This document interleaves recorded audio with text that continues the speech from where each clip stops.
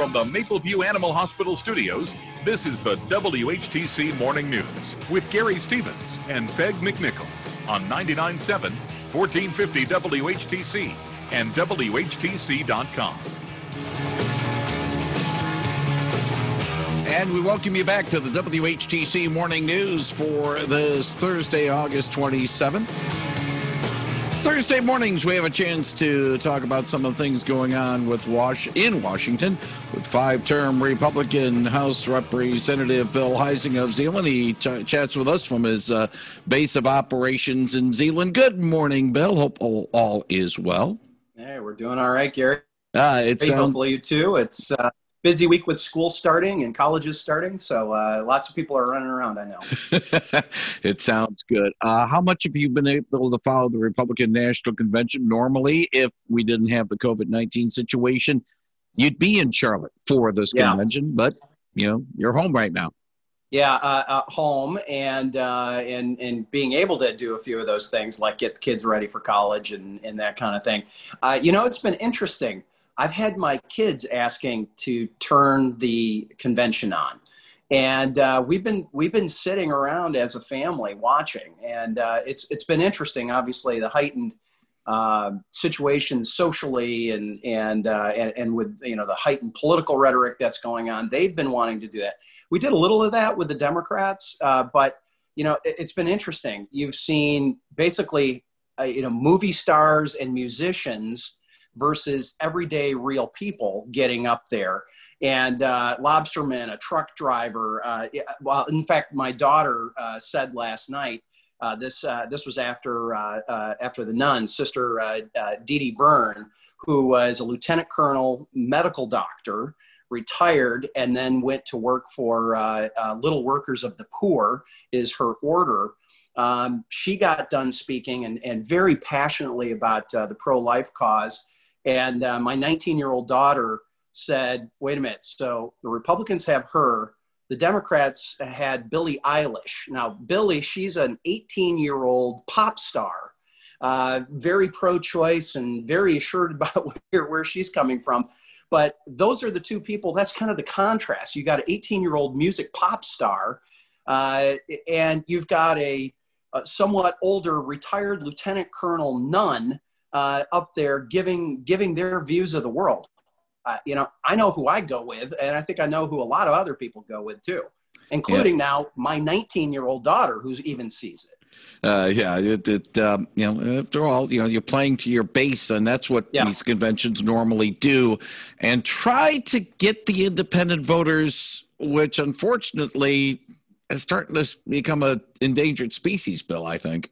You know, I, I, agree with that, but there, I thought there was a, there's been another interesting um, uh, take to this, right? You know, lots of discussion about diversity within the Republican Party. When you've got Burgess Owens, Jason Brewer, uh, uh, um, uh, uh, Clarence Henderson, who was a, is still a leading figure within the civil rights movement, being up there talking. Not to mention Tim Scott, Madison Cawthorn, uh, who's uh, who's 25 and and uh, and told a very compelling story about his uh, his his injury and about how being in a wheelchair and being a, uh, a paraplegic, he suddenly felt that you know uh, being lost in society. Um, Nikki Haley, David, or I'm sorry, Daniel Cameron, who's the Attorney General in, in Kentucky. There's been a very strong and I think direct play right into the African American community, right into the minority community, uh, with Hispanics as well. And I think that's kind of the interesting thing. Uh, having been to a number of these uh, conventions and, and, and watched sort of the analysis of it, it was always, oh, it's just the party of the white rich people. That's not the case. And I, I've known that for years. But maybe for the first time, really the Republican Party is putting on display who the Republican Party really is. And, and I'm glad that we're doing that. Uh, and uh, like I said, they're, they're going in and making a direct play into those Catholic voters who are pro life, a direct play into those African American uh, thought leaders uh, who are saying, hey, you know what? Uh, just because of this color of my skin doesn't mean I have to vote a particular direction. Same thing in the Hispanic community. So uh, that that was that was something that certainly has struck me. We're talking with Zeeland Congressman Bill Huizenga. Um, I will say this, and I'm going to put this as a, a, a, a for lack of a better term, Bill, a disclaimer. Uh, you're a Republican, and you know a, a male Caucasian, but yet uh, the message, to a certain extent, that the Republican Party could present this week about race relations can really be timely, considering what happened uh, with Jacob Blake in Kenosha, some of the unrest, some of the actions now in the sports world in the wake of this. Uh, it, it's almost like a repeat to a certain extent of what we saw after Memorial Day with George Floyd in Minneapolis. And the Republican Party has a great opportunity to express that message. And do you get a sense that the Republican Party is seizing this opportunity? I think that is exactly uh, showing. You know, you look at Tim Scott I retweeted Tim probably two or three times yesterday, and he had a whole series of tweets talking about his Justice Act, uh, which was is is a real tangible step. And when Chuck Schumer had the opportunity to take up uh, Tim Scott's Justice Act, a bipartisan bill that could have had 20 amendments uh, uh to it, um, he refused to do so. Why? Because they're looking for a wedge issue. They're looking for a wedge political issue, not for solving society's problems. And um, that, uh, you know, some very, very powerful, powerful voices. Kim Klacik, who's uh, who's a candidate uh, out of Baltimore. Uh, uh, you know that that her video of walking around her neighborhood has gotten millions and millions of views. Um, you know, we Wesley Hunt down in Texas uh, you know, I mean, we've got we've got a number of those voices that are out there, uh, and they need to continue. We need to uh, we need to have this conversation, and and hey, I found something that I agree with Joe Biden on, which is good. Uh, I'll I'll, uh, I'll I'll be positive on this. He rightly said yesterday, as did Vice President Pence last night. We all support everybody's constitutional right to go protest and have their voice be heard what is inexcusable and not acceptable is the rioting and the burning and the looting. Um, that that simply is not uh, that simply cannot be a part of uh, of, of the solution. And uh, I understand it is a very heightened time right now, and it's very careful that uh, we need to be careful as leaders as to having measured words um, and uh, there's uh, you're seeing a lot uh, a lot less I think intentionality in those measured words right now, and it's uh, it's all uh, it's all either emotional or unfortunately sometimes political. Let's talk about a couple of uh, topics. One I want to hold off on because it's going to probably uh, uh, uh, take a little while, but I do want to hit this other one, uh, and I will read from my wire service copy on this. Ending the federal payroll tax could stop payments of Social Security by 2023. That's a stark warning from Stephen Goss, the chief actuary of uh, Social Security. Again, I might have butchered that word. Um, uh, Goss responded to a request for an analysis by Senate Democrats involving President Trump's call to eliminate the payroll tax, which is the primary source of dedicated funding for Social Security. Mr. Trump has pledged to eliminate the payroll tax if he is reelected, but that would require action by Congress. Your thoughts about uh, Mr. Goss's remarks saying that if the payroll tax goes away, funding for Social Security goes away by 2023. Uh, otherwise, it goes away by 2027. Uh, that that's that's what people are forgetting. we know there's a collision course that's happening already uh, with Social Security, uh, and we have a responsibility to go fix it, not play politics with it. Now, what the what the payroll tax is is that's that that chunk of money, that seven point whatever percent, it's usually seven point four percent that comes out of our personal paychecks that then mostly goes into uh, in, into Social Security. The uh, the employer pays the other side of that uh, for for a total of fifteen percent. So um, we know that there's this collision course. Uh, the, uh, the the the idea of suspending or eliminating that payroll tax for a period of time is to put immediate dollars into people's paychecks. It doesn't get shipped to Washington D.C doesn't go through a bureaucratic process, doesn't get a check cut back to back to people. It's immediate. You see it uh, uh, right in your paycheck. So I, I still think that is a good way if we're looking at a way to stimulate the economy uh, immediately to do that. That doesn't mean that we don't have to fix uh, the uh, the issue of, uh, of Social Security and all these other commissions. Um, so uh, maybe what it would do is it would actually force us to deal with this in a more timely manner. So I, I, I'm, I'm, I'm certainly cautious about how we are doing this, but I think that this could work. Now, I will note one, one other thing. There's 30 of us on the Republican side who have teamed up with 30 Democrats.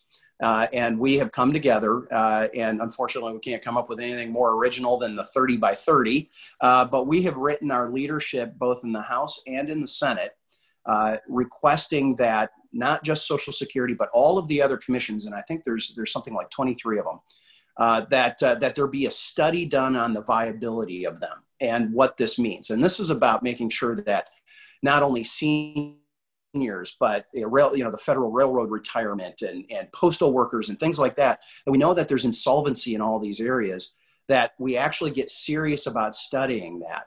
And uh, that was uh, that was taken up in the Senate version. Uh, unfortunately, we haven't been able to get that included in the House version as of yet. Uh, but we're going to continue to push that because this is the conversation to be having. All right, final thing, Bill, and uh, we do have a few moments, and, and that's why I wanted to hold off this next topic off until uh, uh, the, the, last part of our conversation. Um, I'm going to phrase this as post office flap. You visited uh, yep. a, a, facility in Grand Rapids, in downtown Grand Rapids, last Friday. State U.S. Uh, Senator Gary Peters visited a facility in Kentwood on Monday. Different facilities Yep. But we, I, I played your, your, your your remarks that you had on Facebook after the Friday visit.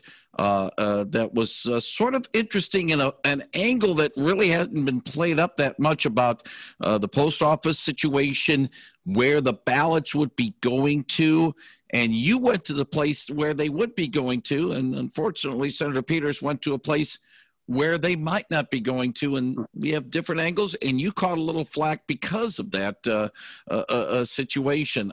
Has the dust settled a little bit, Bill, on this, or yeah. is it still something that uh, is around? Yeah, no, it's it's still around, and, and you're right. I went to the facility that uh, that processes all of the letters and ballots. He went to the facility that processes magazines, catalogs, and packages.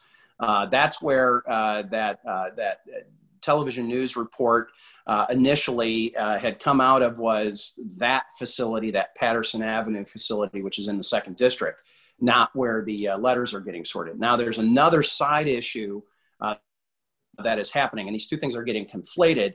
Uh, the other side issue is that uh, a union rep then said that what I was told on Friday was inaccurate, and they, some, someone, I'm not saying they, but someone within the post office uh, provided photos uh, to uh, to the local television station showing quote evidence that uh, that uh, these machines had been taken out.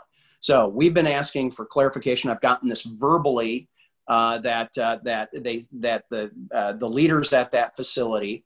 I met with three of them and toured with three of them. That they stand by their their words that there was no equipment that's been removed in the last 30 days, and that there has not been a diminished uh, capacity at all. 1.3 to 1.7 million letters per day uh, go through that facility.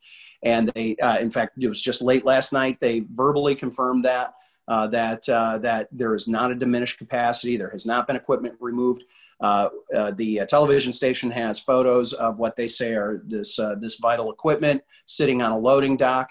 Uh, the uh, again, verbally, I've been told that that predates uh, any of that, and so we're waiting for written confirmation, and we're trying to get to the bottom of that as well. But here, here's at the end of the day, uh, Gary, uh, when you're Nancy Pelosi and you th- you call somebody like me or the president a domestic enemy, and that you, have made the, the post office this wedge issue, it probably doesn't matter to you what the uh, what the even local leadership says. You've got a predetermined set in your head of what uh, what is happening. And and and the conversely, uh, you know, I'm looking for the truth here. I'm trying to figure out what what's going on. My big major concern is is there a diminished capacity when our college students that we were just talking about, when our college students who are out of state or not around home, when they're sending their ballot in, are they going to be able to do that?